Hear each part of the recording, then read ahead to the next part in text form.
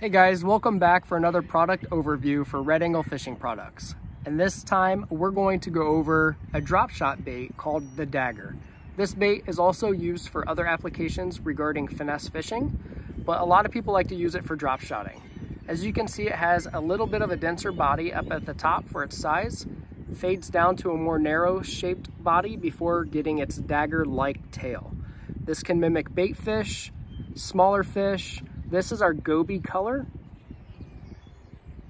Very popular amongst drop shot anglers, especially when you're going after those smallmouth bass. You can get yours by visiting our website. If you have any questions, feel free to reach out to us and we'll be more than happy to assist.